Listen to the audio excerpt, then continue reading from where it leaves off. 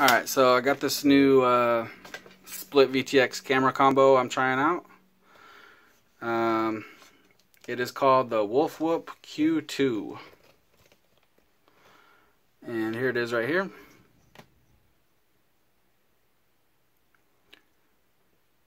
The VTX part of it looks a lot like this one, which is the FX806.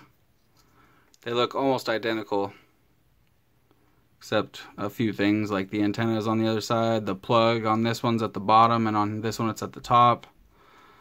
Uh, and on the back side they look different, but they're the exact same size. Um, and I think I might like this one more now. I don't know. Um, I, I, just tried it out. It looks, the picture looks excellent. Um, I don't know if it's as light as this. It might be a tad bit heavier, but that's no problem. Um, I believe this is somewhere around three grams, maybe a little bit more, maybe three and a half, and this is four grams total. So the VTX is two and a half, and the camera is like one and a half. Uh, it looks kind of funky because it comes with this four pin plug, and it comes with this one plugged up in one of these holes here, and it's the video attaching itself to to itself. You know what I'm saying? Um, it's really weird. I have no idea why it would be up in there as one of the pins, but I pulled it out and left it connected because you have to have them connected, you know, and it still works. So I don't know, but I'm just going to trim it off right here and then I got my video in, video out for my OSD. But for now, I'm going to leave it connected like this so that I can show you it. And I just happen to have something new that I am able to show the FPV on Got this nice monitor up there attached to the wall. I just got it on there with Velcro. Uh, it's so nice to have that instead of having to grab my goggles every time, turn them on, and then try to get the camera to focus up in the little tiny hole in the goggles, you know. This is just so much better. So, I'm going to plug it in real quick. We'll check it out.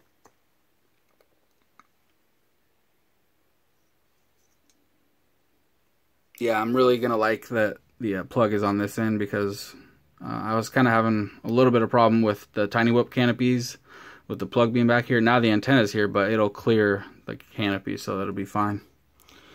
But let me plug it in. And there we go. Look how nice that picture looks. So the wires are on the bottom of the camera, which is just fine for the mounts that I use. It's going to work perfect. So let me uh, grab my phone here and we'll get a close up.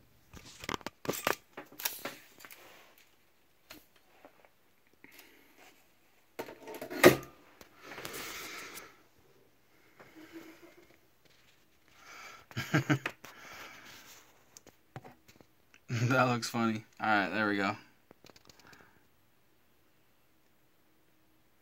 Yeah, picture looks really nice. Everything's crystal clear.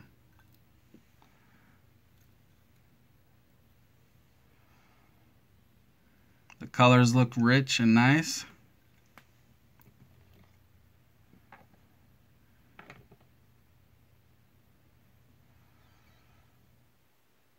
It's not all dark like I've seen some of them be. Um, I would almost say that the the picture is clearer than the FX806. Uh, I'm not 100% on that, but I do get a little bit of fuzziness with the FX806. I'm not sure why this LED flashes. I'll have to check out what the deal is, but it'll flash six times, like, and then it'll stop for a second, and then it'll flash six times again. I wonder if that's the channel. Let me see. I'm going to change the channel and see if it does it flashes seven times.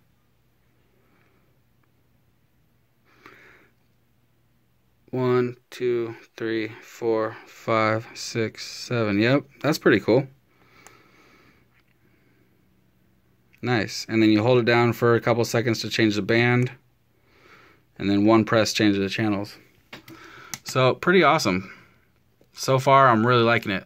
Um, I'm going to have to put it on a quad and fly it around to really check it out. But, yeah, so far, I mean, look at that picture. Part of it is that nice Eachine monitor.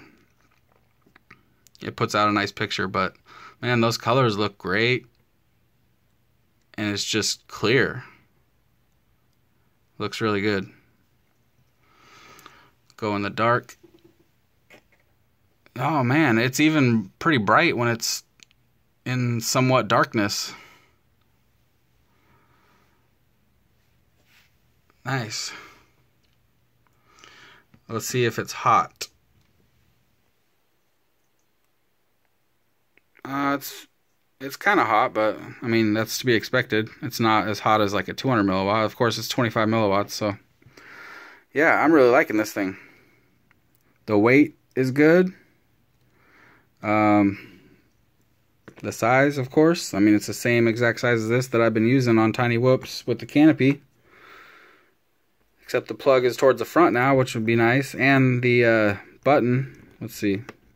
Yeah, the button's all the way up front on the edge on this one, and it's more halfway back in, on this one, so that'll be even better too. So yeah, I'll uh, put this on a quad and fly it around a little bit. I'll get some DVR and stuff and let you guys know what I think of it some more. That's the Wolf Whoop Q2, and I will leave a link for it if you guys want. Uh, I get it off eBay. It's like 18 bucks, which is super cheap. It's basically the cheapest you can get right now that I know of. And uh, it comes to my doorstep like quick fast. I mean, super fast. It's it's one of those things where it's like you get it off eBay, but it's Amazon, so you get you get just lightning fast shipping. I don't know. It's it's really weird. I'll buy stuff off eBay and it'll come on Sundays and crazy shit like 2 days and to my doorstep. It's awesome. But anyway, yeah, I'll leave a link to it. You guys can pick one up if you want. 18 bucks, super cheap. So, there you go.